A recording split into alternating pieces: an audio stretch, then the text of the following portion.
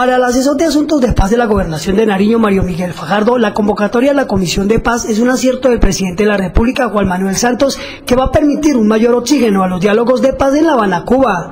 Y es que a la comisión seguramente van a ser convocados los delegados de las víctimas del proceso, porque sin ellos, como hemos dicho, el proceso va a ser indudablemente eh, inviable.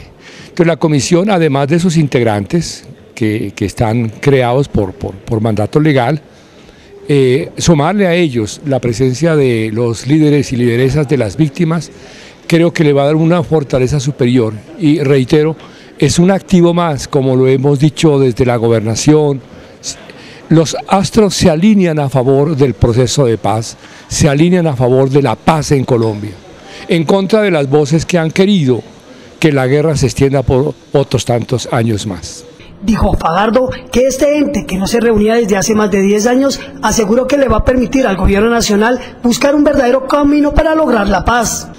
Yo coincido con eh, quienes han leído desde ya la iniciativa, por cierto, muy buena, del señor presidente de darle nuevamente vida a esa comisión, eh, en entenderla que es un activo más que se recupera para impulsar y darle fortaleza al proceso de diálogo que aspira a ponerle fin a 50 años de guerra y de confrontación en Colombia.